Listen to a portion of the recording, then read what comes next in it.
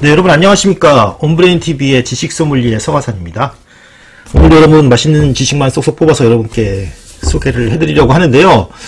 오늘은요, 어, 여러분 우리가 당을 좋아하는 이유, 예, 이러한 것에 대해서 그러니까 당 중독, 예를 들어서 설탕에 대한 애착 이러한 것들을 신경 과학적으로 설명하는 연구가 있어서 한번 가져와 봤습니다. 예, 사이언스 타임스 기사고요.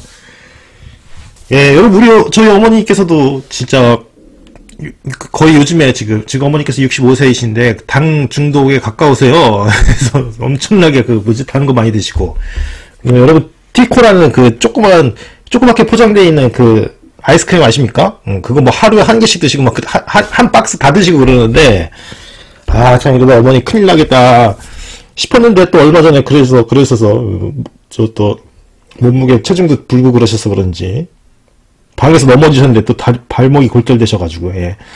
예, 지난주에 수술 받으시고 아직도 병원에 계십니다.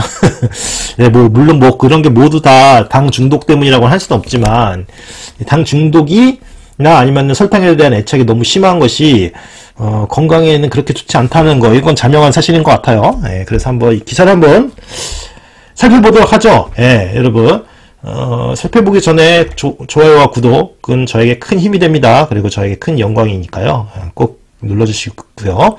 자, 봅시다 한번. 음, 설탕 의착을 신경과학적으로 설명하는 연구가 발견, 네, 발견되었다는데 자, 과자와 과자나 뭐 휘핑크림, 커피 등의 설탕을 넣으면 맛이 달라진다.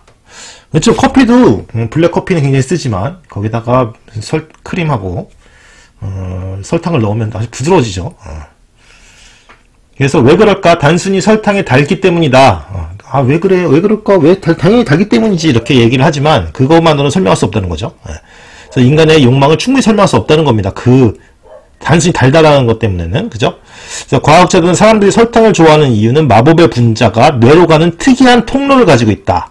여러분, 이 인간의 뇌를 비롯해서 생물체의 뇌는요, 뭐 탄수화물 이런 게 아니라 지방 이런 것이 아니라 포도당 예. 포, 포도당만을 에너지원으로 쓰죠. 예. 그러니까 인간은 인간을 비롯해서 동물들은 그래서 뇌를 가진 동물이라면 당에 대한 엄청난 그 어떤 그런 당에 대한 욕망을 가지고 있겠죠, 그죠? 음. 설탕만이 사람의 혀에 달콤한 맛을 내는 것은 아니다. 그렇지만 설탕만이 완전히 별개의 신경학적 경로를 깨운대요. 와, 신기하다. 야, 그래서 그 경로는 장에서 시작하는 특별한 경로라고 합니다. 장, 장. 야, 이게 진짜 신기하네요, 여러분.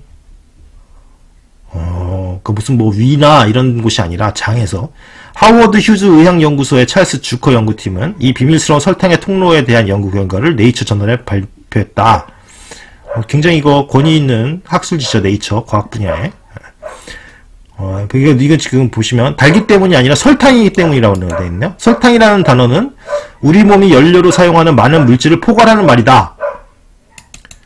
그렇죠, 여러분. 그래서 당을 먹으면 기분이 좋아지죠. 설탕을 먹으면 뇌의 보상 시스템이 활성화돼서 사람이나 쥐나 똑같이 기분이 좋아진다. 그러나 정제된 설탕이 풍부한 세상에서는 깊은 식욕이 지나칠 수 있다. 그렇죠, 여러분. 왜냐면 단 거를 계속 많이 먹게 되니까. 그렇게 되면 뭐 비만이라든지 이런 게 나타날 수 있죠. 그래서 미국인들의 연평균 설탕 섭취량은 1800년대 후반에 10파운드 미만이었는데 오늘날엔 100파운드 이상으로 급증을 했다. 설탕 소비의 큰 증가는 비용이 들게 한다. 왜냐하면 과도한 설탕 소비는 비만, 그다음에 당뇨를 비롯해서 성인, 온갖 성인병을 그죠 어, 일으킬 수 있죠. 그래서 이전에 주커의 연구는 설탕과 인공 감미료가 동일한 맛 감지 시스템을 작동한다는 것을 보여주었다.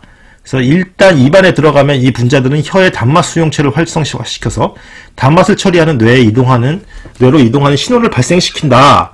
그런데 그러니까 지금 설탕과 인공 감미료는 동일한 맛 감지 시스템이 이때 입안에서 작동한다는 걸 밝혀냈는데 그런데 설탕 그중 설탕은 인공 감미료와는 달리 다, 또 행동에 다른 방식으로 또 예, 행동에 영향을 미친다고 합니다.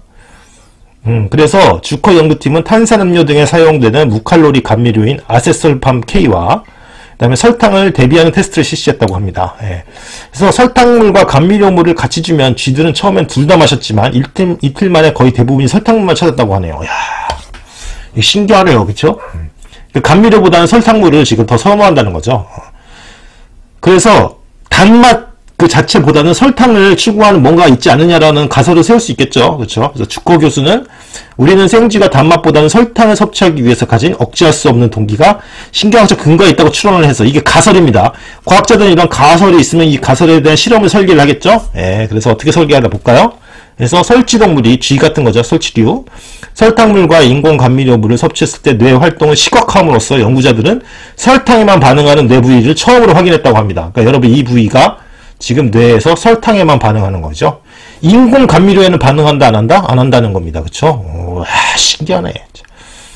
아, 그래서 아, 이것은 꼬리핵 고속로라고 하는 것이라고 하는 것이고요. 예, 이걸 CNST라고 한다고 합니다. 쥐가 맛을 처리하는 것과는 별개로 뇌관에서 발견되는 CNST는 몸의 상태에 대한 정보를 제공하는 허브라. 그러니까 여러분 이렇게 보면 뇌관이라는 것은 우리의 척추와 뇌를 연결 연결한다기보다 그 중간에 있는 뇌 아래에 있는 부분이에요. 그렇죠? 그래서 신경이 다발이 올라가는 곳이거든요. 그러니까 이렇게 허브라고 할 수 있죠. 그렇죠?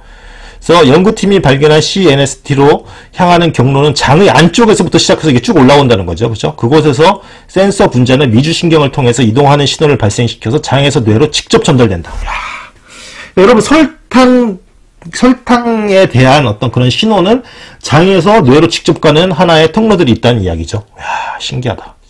그래서 어, 이 장 뇌회로는 설탕의 한 형태인 포도당과 비슷한 문자를 선호하지만 인공 감미료는 무시한다고 하네요. 어, 왜냐하면 그래서 이것이 감미료가 설탕의 매력을 완전히 복제하지 못한다. 그러니까 어, 설탕이 가지는 그 포도당, 그러니까 우리 뇌가 필요한 그 포도당의 그 순수한 어떤 어, 그러한 어, 뭐랄까 선호, 선호도, 선호도를 가지게 만드는 그 순수한 분자 형태를 그 인공 감미료는 복, 똑같이 복사가 안 되는 거죠. 똑같은 것이 형태가 아니기 때문에 그렇죠. 그래서 장뇌회로는 과일에서 발견되는 과당과 어, 같은 몇몇 다른 종류의 설탕도 설탕도 못 본체한다. 그러니까 설탕, 설탕에만 반응한다는 얘기죠. 야, 진짜 신기하네. 예. 그래서 이번 논문의 주자인 음, 회의 이탄과 알렉산더 소시스티라고 하는 사람은 이것이 설탕 분자에 대한 특성을 설명할 수 있을 것이다. 그래서 과학자들은 인공 감미료는 칼로리가 부족하기 때문에 어, 칼로리가 많은 설탕을 당하지 못한다고 추측했다. 음. 그러나 주커 연구는 칼로리가 없는 포도당 같은 분자도 내장과 뇌, 뇌 사이에 설탕을 감지하는 경로를 활성화할 수 있기 때문에 칼로리 문제가 아니다. 어. 설탕에 대한 뇌의 강한 선호도가 어떻게 발전했는지 더 잘 이해하기 위해서 연구팀은 현재 이 장 뇌 설탕 회로와 다른 뇌 시스템 사이의 연관성을 연구하고 있다고 합니다. 예, 그렇죠. 예. 그래서 이것을 그냥 이러한 연구는 어떻게 또 그거를 활용할 수 있을 것인가. 현대 사회에서 예를 들어서 비만 같은 것으로 고생하고 있으니까 설탕이나 당에 대한 선호도를 줄일 수 있는 그런 어떤 약제라든지 예를 들어서 이쪽으로 가는 이런 신호를 차단한다든지 하는 그런 약제를 개발하는 데 또 도움이 줄 수 있겠죠 이런 연구들은요 예. 그래서 지금 음, 장에서 뇌로 직접 통하는 설탕을 선호하는 어떤 그런 신호 이동 통로가 있다라는 것을 어, 밝혀냈다라는 걸 여러분께 알려드립니다 예. 이게 어, 얼마 전에 그 네이처에 실린 최신의 연구 중에 하나고요 여러분 꼭 알아두시기 바라고요 어, 내일 또 음, 재미있는 정보로 여러분을 찾아뵙도록 하겠습니다. 예, 감사합니다.